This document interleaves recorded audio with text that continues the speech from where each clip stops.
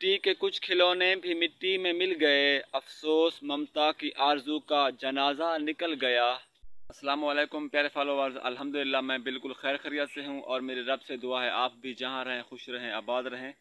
तो प्यारे फॉलोवर्स, आज मैं आपको सुनाता हूँ सैलाब के हवाले से कुछ दर्द भरे अशार।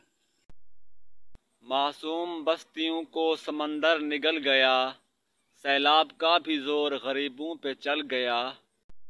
दरिया बहा के ले गया गुड़िया का कुल जहेज। अफसोस बेबसी के समंदर में ढल गया। मिट्टी के कुछ खिलौने भी मिट्टी में मिल गए। अफसोस ममता की आरज़ू का जनाजा निकल गया। काश जानवर सभी बन जाते मछली। बेबस मवेशी देखकर पत्थर पिघल गया। बेसरो सामानी और ला मकान का दुख। तुम क्या जानो बहते हुए पानी में इंसान का दुख? तुम क्या जानो सैलाब में बहते हुए इंसान का दुख?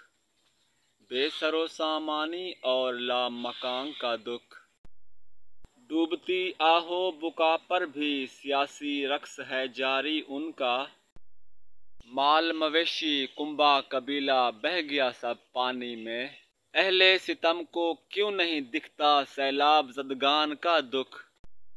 आओ समझाऊं तुम्हें उनके असासे का खसारा, जैसे मुसाफिर को हो गुमशुदा सामान का दुख। कहीं तनकीद, कहीं बातें, कहीं फक्त दिलासे हैं।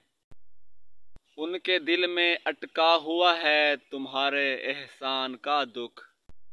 बेसरो सामानी और ला मकान का दुख। तुम क्या जानो, बहते हुए पानी में इंसान का दुख। और आखिर में मैं उम्मीद करता हूँ कि इस शायरी ने आपके दिल पर ज़रूर असर किया होगा।